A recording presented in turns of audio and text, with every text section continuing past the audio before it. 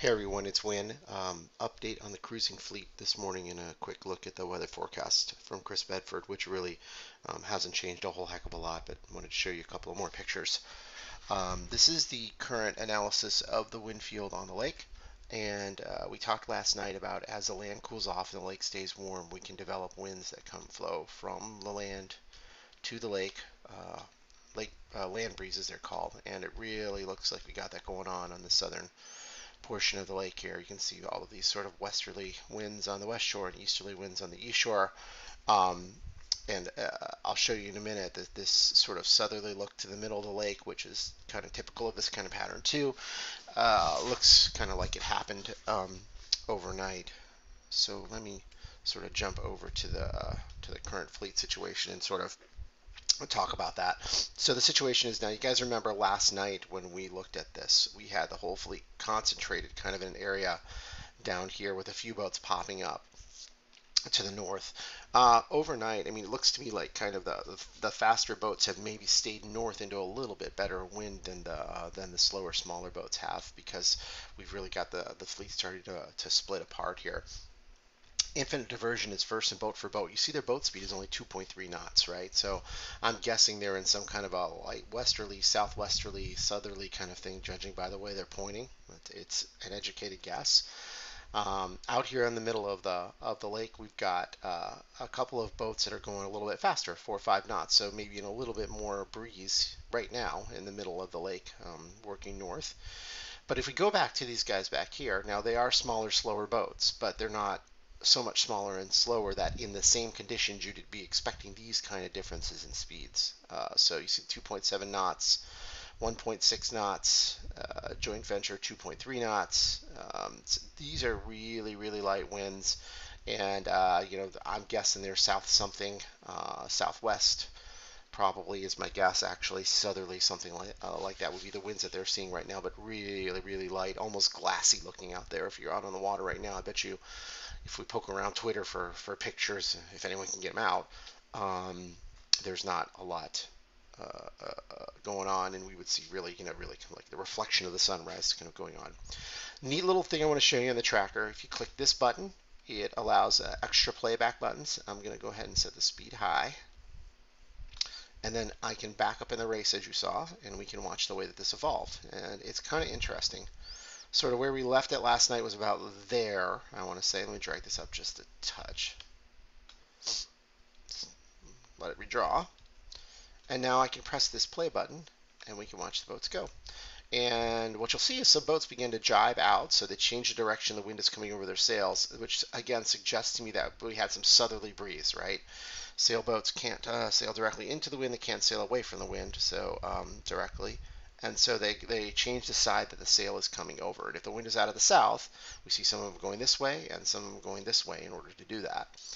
Um, so that's one thing I would observe is I think the wind came out of the south. The second thing is, as I said earlier, and I was kind of talking while that happened, let's back it up a little. You can see the guys in the back, right?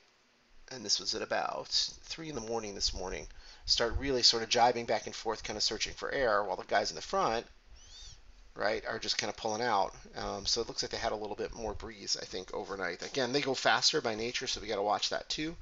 Um, but I think that, that that was the situation a little bit farther north in the, in the lake. Okay, now I am going to go to, um, let's go to the weather forecast next. Chris Bedford was nice enough to send me this. Uh, I'm going to skip through some pages here. This is the current wind forecast, right? Um, current, I'm sorry, the wind forecast for 1 o'clock this afternoon. So uh, we're in the middle of our starts for the racing fleet at that point. We're in what looks to be a lake breeze right? So there's wind coming off the lake here. Uh, that's where we'll worry about it down here in Chicago, right? Sort of easterly. Maybe it'll be a little southeasterly. Maybe it'll be a nor- little northeasterly. I don't know. Um, the, up the fleet, we are also in a lake breeze um, uh, where the cruising fleet is. Uh, if you're in the middle of the lake here, you see things are a little bit more confused. I think that that's um, typical of a lake breeze. Again, we have sort of a, a, big high pressure system sitting in the middle of the lake when that happens. So uh, you want to get to the shore when you can get to the shore in the situation if you're in the cruising fleet. Uh, Chris uh, sent surface maps too, and I want to point out a couple things, and I'm not going to come back to surface maps a lot here. This warm front we've been talking about for a few days, right, is sitting out to the west. cold front behind it. You can see there's not a room, a lot of room, a lot of room here in the uh, sort of the warm sector um, between the two of them. And that front's going to be something we're watching. The green is where we think there's going to be rain or heavy rain. Uh, by 7 o'clock tonight, we're still in a lake breeze, but I want to point out right here uh, that lake breeze is actually starting to get modified a little bit. So you see sort of a higher areas of southeast winds. We saw this yesterday in Chris's forecast too, from the approaching low pressure system, warm front, cold front um, going on. So uh, that's going to be a harbinger of good things to come. And then this is one o'clock Sunday morning. We have the warm front drawn through. You can see the the winds have really transitioned over the, uh, the southern part of the lake uh, into more of a southerly and uh, there's a southeasterly in front of the warm front right here. Some of the cruising fleet might be in this pretty good southeasterly. Most of the fleet should be in this sort of southerly gradient wind we have going on overnight. It's not huge strong wind, but it's there. Um, and then rain. Rain comes through. Uh, we're uh, forecasting rain overnight on Sunday, and I just want to show you. This is called the HRRR, uh, High Resolution Rapid Refresh Model. The cool thing about it is that I can simulate uh, sort of um, sort of uh, radar reflectivity. So this is at about 10 o'clock this morning, um, the forecast for the model. Uh, it's not handling some of the uh, storms that are out to the west of Chicago right now, so I want to keep an eye on those, but we'll sort of page through. You can see the storms building, and this is by about 5, 6 o'clock this evening. Right, lots of energy up to the north there over Minnesota, comes through northern Wisconsin, and then this is by about 11 o'clock tonight, it begins to cross the lake, is this particular forecast. Uh, this model will be wrong, 100% will be wrong, but it gives us an idea uh, that overnight tonight, so this is 4 o'clock tomorrow morning, um, we will be looking at some, uh, some potential for thunderstorms really across most of the lake. Um, and so that's something that we're going to be watching overnight uh, uh, to, to ensure that we're watching our friends and fleet out there and everyone stays safe. Uh, quickly, by the time we get into Sunday, there's some confusion here from um, from the thunderstorm, the outflow from the thunderstorms we talked about yesterday. But you can see sort of a southerly, uh, southwesterly almost set up. Uh, by 1 p.m. on Sunday, that continues uh, to build.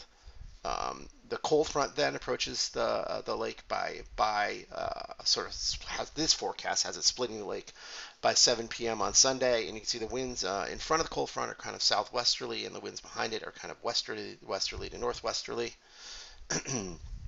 and by then 7 o'clock Monday morning, we're in a real nice westerly kind of wind, which uh, you know 10 knots, something like that. So the highest wind speeds I think are going to be on um, uh, back here right? They're a little bit confused by the thunderstorm right now but the highest ones we see here tomorrow morning when the thunderstorm activity goes through.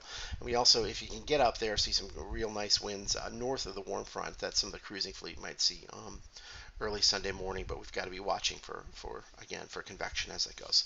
Okay, so hopefully that helped a little bit for with what we're looking for. I will be watching Facebook and Twitter and um, the starts for the racing fleet begin in a couple of hours here. Wishing everyone a fast, uh, safe race. And um, please hit me with any questions, comments um, on Facebook or Twitter. And look for video updates as the day goes on. Thanks so much.